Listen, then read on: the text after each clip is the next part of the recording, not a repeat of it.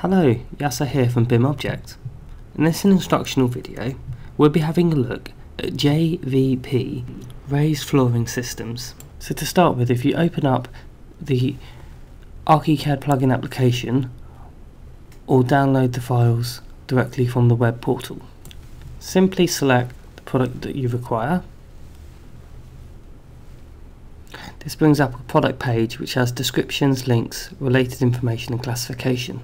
Select the ArchiCAD file, and this is automatically loaded into your project. Next we must create a zone using the Zone tool. Select into the interior space to create your zone, and then we select Design, Design Extras, Interior Wizard, and create Room Accessories. And in this case we'll be creating a full accessory. If you do not have the accessory tools, these can be downloaded directly from the Graphisoft website. As you can see here, a range of parameters can be changed from within the library, and this also includes links to manufacturer, product description, installation instructions, and a technical description.